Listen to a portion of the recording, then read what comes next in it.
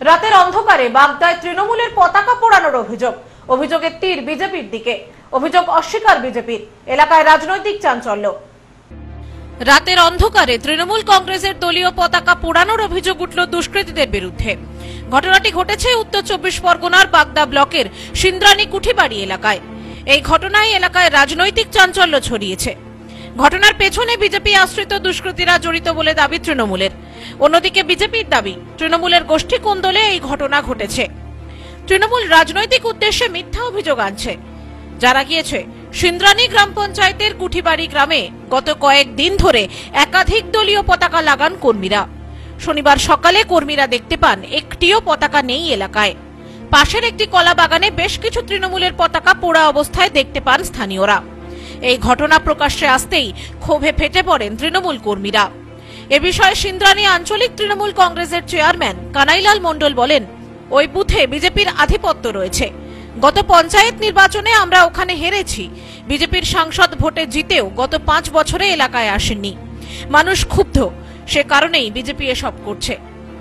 বিজেপির দুষ্কৃতী, তারা আমাদের এই ফ্ল্যাগগুলো পুড়িয়ে দিয়েছে। কিন্তু ওই বুথে আমাদের ভোটার অনেক কম। গত পঞ্চায়েত ইলেকশন আমরা অনেক ভোটে ওখানে হেরেছিলাম কিন্তু শান্তনু ঠাকুর দীর্ঘদিন ধরে ওই বুথে যোগাযোগ না করার জন্য মানুষের মনে প্রচণ্ড ক্ষোভ তৈরি হয়েছে। সেই আশঙ্কা থেকে তারা আমাদের ক্লাব ফেস্টও পুড়িয়ে দিয়েছে। আমরা এই বিষয়ে জানার সঙ্গে সঙ্গে প্রশাসনকে জানিয়েছি। বড়বাবু, থানার বড়বাবু উনি এসেছিলেন, উনি নিজে দেখে গেছেন, জিনিসপত্র সব নিয়ে গেছেন ফ্ল্যাগের বাকি অংশগুলো। উনি আশ্বাস দিয়েছেন, ব্যবস্থা নেবেন। এদিন ঘটনার কথা জানিয়ে পুলিশকে ফোন করেন স্থানীয় তৃণমূল নেতৃত্ব। খবর পেয়ে ছুটে আসেন বাগদা থানার পুলিশ। পড়ে থাকা পোড়া পতাকাগুলি সংগ্রহ করে নিয়ে যায় পুলিশ। পতাকা পোড়ানোর বিষয়ে বাগদা ব্লক তিন নম্বর মণ্ডলের বিজেপির সহসভাপতি দীপক রায় বলেন, কুঠিবাড়ি গ্রামে আমরা গত পঞ্চায়েত নির্বাচনে প্রায় তিনশো ভোটে জিতেছি। এবার প্রায় পাঁচশো ভোটে বিজেপির লিড হবে। তৃণমূলের পায়ের তলায় মাটি নেই, তাই নিজেরাই এসব করে খবরে আসতে চাইছে। এই প্রচারটা একেবারেই ভিত্তিহীন। যদি পুড়িয়ে থাকে, তারা নিজেরাই পুড়িয়েছে। এই বাগদা ব্লকে বাগদা ব্লকে যে বিশ্বজিৎ দাস ছিল, সে বিজেপির ক্যান্ডিডেট ছিল বিধানসভায়, সে চলে যায় টিএমসিতে। সেই ক্ষেত্রে বাগদা বিধানসভা কেন্দ্রের খুব বেহাল অবস্থা টিএমসির। সেই কারণে এই অপপ্রচারগুলো করছে এবং এই কারণেই যে কুটিবাড়ি যে ঘটনাটা ঘটেছে, ওরা নিজেরাই করেছে এইটা।